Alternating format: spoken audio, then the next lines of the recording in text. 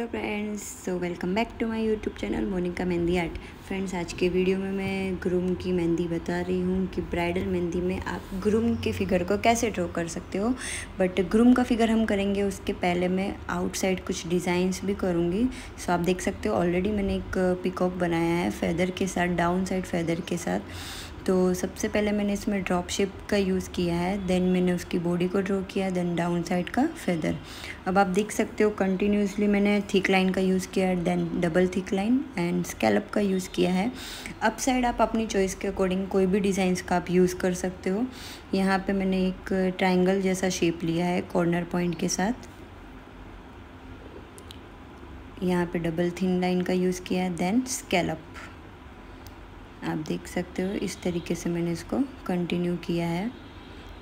आप अपने चॉइस के अकॉर्डिंग जो भी डिज़ाइंस करना चाहते हो, आप वो कर सकते हो। अगर आपको ये डिज़ाइन अच्छी लगती है तो आप ये डिज़ाइन भी ट्राई कर सकते हो। यहाँ पे मैंने डॉट का यूज़ किया है। प्रेशर से मैंने यहाँ पे डॉट बनाया है। अगर आपको लीफ बहुत अच्छी लगती है तो आप लीफ का यूज़ कर सकते हो, या फिर और भी कोई आपको डिज़ाइन या कोई भी स्ट्रॉक्स या वाइन्स का यूज़ करना अच्छा लगता है तो आप वो भी यूज़ कर सकते हो। तो इस तरीके से हम बिना टाइम वेस्ट किए इस पिकअप को पूरा डिज़ाइनिंग से कंप्लीट करेंगे। उसके बाद हम ग्रूम के डिज़ाइन को ड्रॉ करेंगे। तो आप देख सकते हो इस तरीके से मैंने कुछ हैंगिंग के डिज़ाइंस का यूज़ किया है।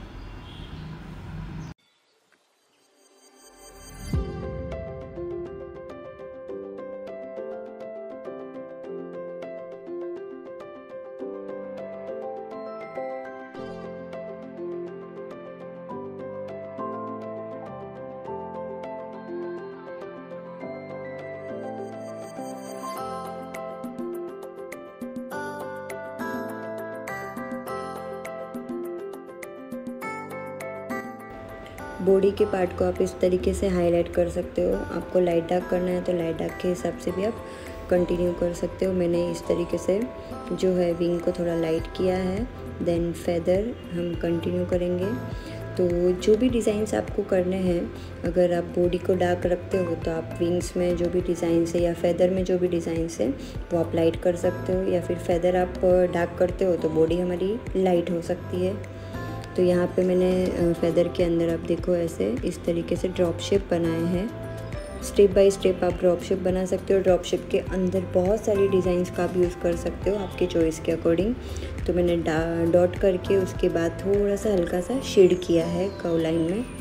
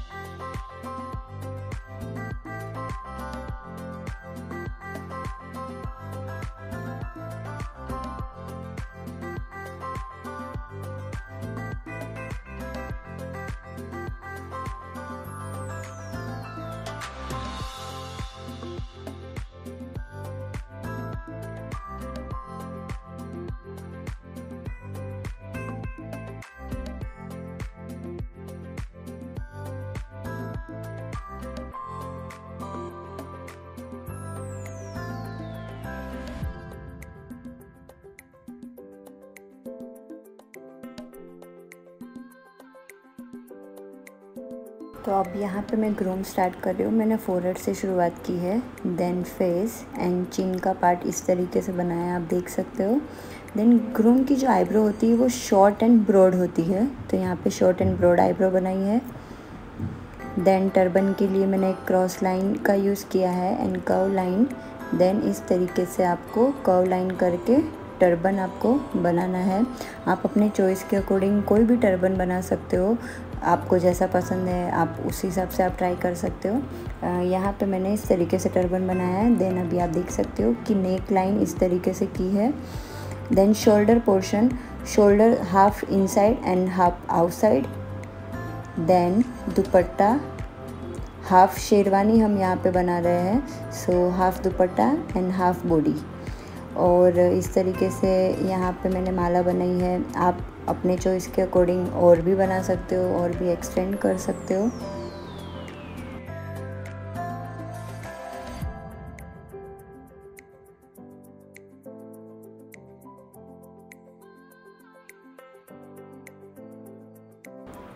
अब हम आउटसाइड यहाँ पे डिज़ाइनिंग क्लियर कर रहे हैं। सो आउटसाइड डिज़ाइनिंग में आप बहुत सारे डिज़ाइंस कर सकते हो। आप अपनी चॉइस के अकॉर्डिंग बैकग्राउंड क्रिएट कर सकते हो। आप फीलिंग्स के डिज़ाइन यूज़ कर सकते हो। ट्रेडिशनल डिज़ाइंस का यूज़ कर सकते हो। यहाँ पे आ, मैंने लीव्स का यूज़ किया है। लीव्स के साथ कुछ मुझे यूनिक ट्राई करना था। तो लीव्स का यहाँ पे मैंने इस तरीके से बेस बनाया है। आपको जो पसंद है आपको जो अच्छा लगता है वो आप इसमें क्रिएट कर सकते हो। सो so, फ्रेंड्स ये वीडियो हमारा इस तरीके से कंटिन्यू रहेगा। आप देख सकते हो फुल मैंने बनाया है। और फ्रेंड्स आप लोगों से मैं यही कहना चाहती हूँ कि अगर आपको मेरा ये वीडियो अच्छा लगता है अगर आपको इस वीडियो से हेल्प मिलती है तो आपको मैं एक ही चीज़ बोलना चाहूँगी कि प्लीज़ आप मेरे इस वीडियो को ज़्यादा से ज़्यादा अपने फैमिली फ्रेंड्स के साथ शेयर करो। और अभी तक अगर आपने मेरे चैनल को सब्सक्राइब नहीं किया है तो आप लोगों से रिक्वेस्ट है कि प्लीज़ मेरे चैनल को सब्सक्राइब कर लो और नोटिफिकेशन के लिए साथ में बेलाइकन को प्रेस करना ना भूलो।